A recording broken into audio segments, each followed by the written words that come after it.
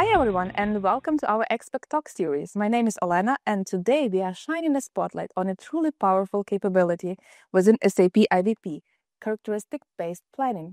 It brings precision, granularity, and compliance to your supply chain planning like never before. Whether you're in fashion, high tech, or pharma, we delivered, we developed this capability to handle your complexity. And today we'll unpack what is what it is why it's matter and of course uh, we will see it in action. And let me introduce my guest in the studio. So we have Pravin our product manager and expert on the topic.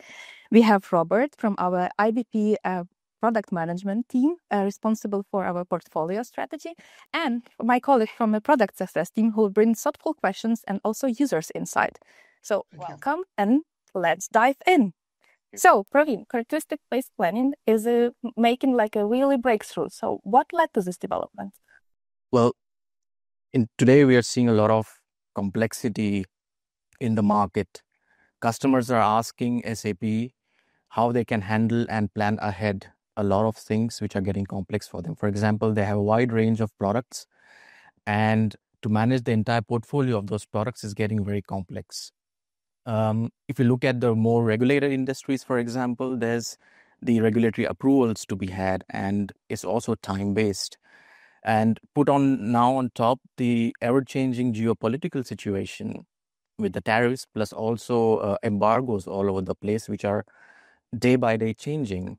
So, so the whole problem is now getting very complex, and that's why we wanted to provide our customers additional levers than we actually have currently. And this is where characteristic based planning comes into picture. Uh, when you talk about characteristics, what actually, what kind of dimensions do you have? Yeah, that's, that's a good question. Uh, normally, when we think about characteristics, uh, people usually straight away think about the, the product related characteristics. Like, like if you're selling a shirt or a trouser, different sizes, different colors, styles, or if you are in the pharma industry, the strength of the drug, the dosage form, and so on. Uh, however, we did not want to limit ourselves only to the product related ones, right? Uh, we wanted to, as I said, give more additional levers uh, to our customers. So we thought of other logical attributes as well. So, what we mean by characteristics is product related plus also other logical attributes, for example, country of origin, qualifications for the regulatory industries, and later on, you can also think about some sustainability related attributes like carbon footprints, also then to proactively steer your supply chains. And um, I know, Vivek, you're also monitoring this space pretty close. Uh, what's your perspective on this?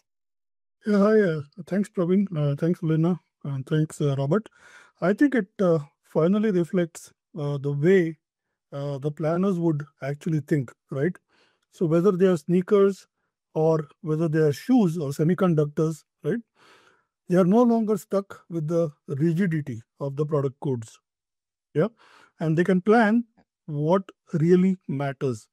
For example, yeah, as Pravin just said, planners would typically handle products that are quite similar but may differ, let's say, in sizes, colors, and strength. And then the last thing that he mentioned about the country of origin, that becomes very important for the planners, right? So that the planners can send the product to the right place without having any legal implications.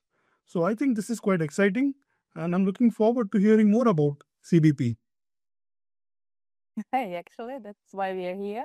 And Pravin, maybe you can walk us through this capability and show uh, what kind of real world problems it solves. Sure. Let's maybe quickly talk about the industry fit a little bit. So, um, as we described a few products right now, so immediately we think about the fashion industry, right? So, of course, fashion retail, they have a lot of, uh, let's say, huge portfolio to manage in terms of sizes, styles, and quality, of course. So, that is one uh, industry we are targeting. So, there are very specific use cases for that industry. Um, of course, uh, because of the regulatory needs, uh, pharma life sciences is also another, uh, it's a use case space for us where regulatory approvals are paramount, changing over time, and they are not just limited to uh, selecting or serving the right product which is approved for that market. In addition, we also need to look at where that product is produced which location is that location approved for that market or not. Um, even going further down the bill of material, whether the ingredient that goes into that product is approved for that market or not. So now the problem becomes even larger. So these very specific use cases are our target use cases. Also for high-tech industries, uh, country of origin, because of the embargo situations, is becoming very important to handle. And this is the whole gamut of use cases that we are targeting for different industries right now. And maybe let's look at uh, some of the examples live on, I'll show you a quick uh, tour of it. Yeah.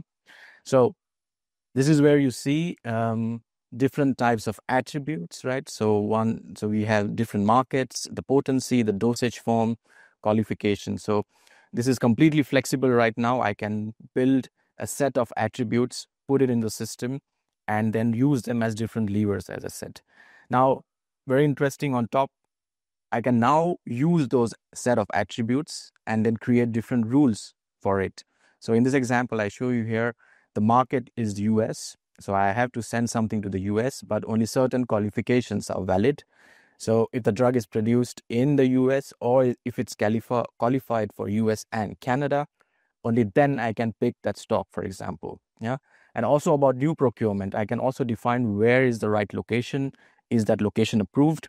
And within that location if a certain production line is even approved or not for that market. So this type of rules I can easily now embed in this kind of a flexible rules framework. Once that is done, our supply engine, which is the finite heuristics, uh, basically kicks in, does the demand supply matching, and gives you the right result. First, it consumes what is available on stock or incoming, right? Based on the rules, of course.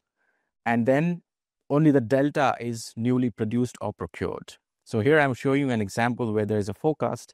It comes from the market. US needs some potency, right? And the finite heuristics based on the rules has produced uh, or tries to procure something from the factory. Now, the interesting part is there is some stock on hand which it consumes, right? But only which is qualified for the US market, right? So that was based on the rules. If we go to the factory now, for example, we'll see the only delta quantity that was not sufficient in the stock has been called for to produce new stock, right?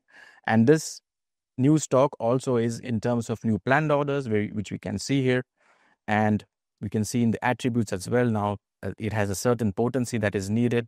And when I produce this product, it will be qualified for US and Canada and comes with a specific specification.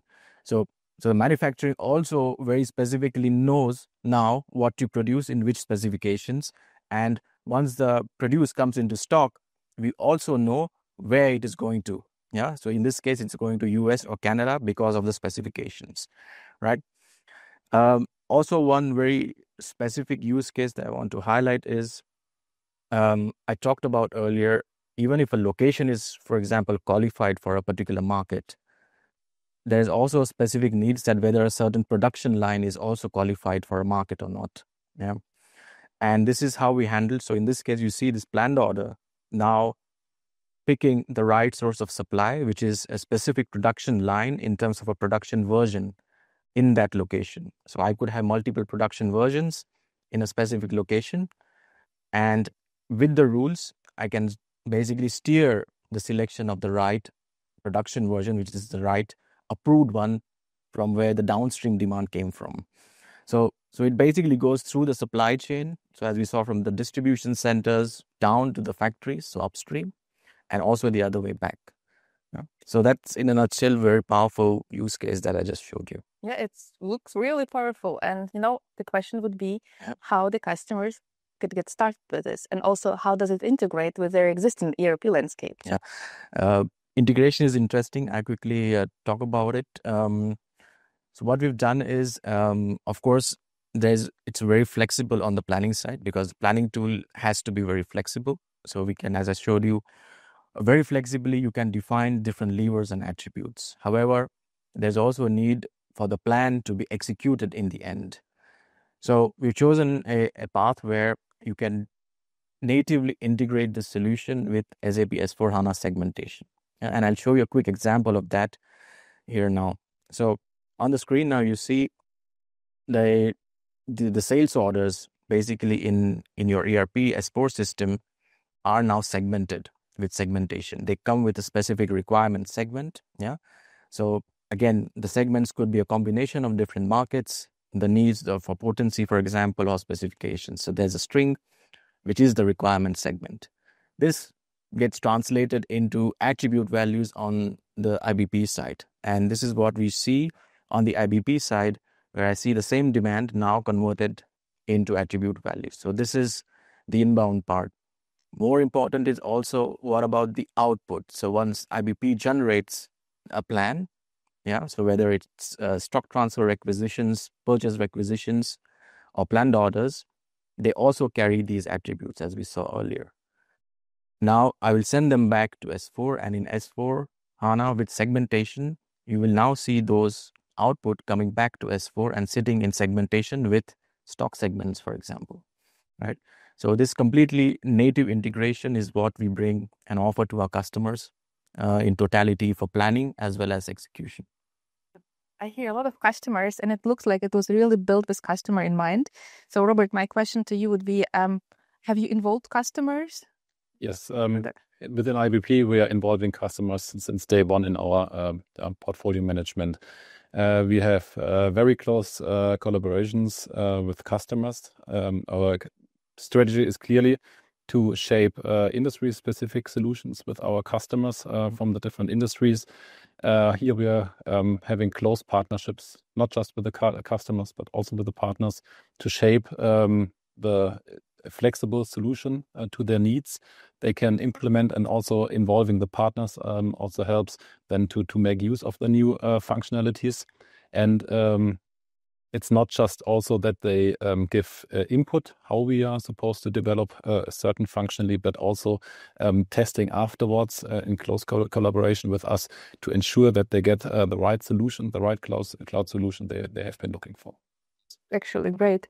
And um, what's the process, for example, if customer want to get started? So the uh, process is usually that um, yeah customers can approach us product management or also our colleagues from uh, product success, um, especially uh, in characteristic-based planning. It's it's key that um, we have a close collaboration here because it's quite a complex solution where you need to take a couple of things in mind in terms of complexity, volume, and so on and so forth. So we are ha very happy to, to support here. And it's also um, you you must not see CBP as an individual solution, but an end-to-end -end solution between IBP and S4 HANA it actually looks like a journey. So, and we are already on the beginning of the journey. So, it would be great to hear what actually on the roadmap. And right. I think Pravin, it's question yes. Of course, this is the the most interesting question uh, for our customers now.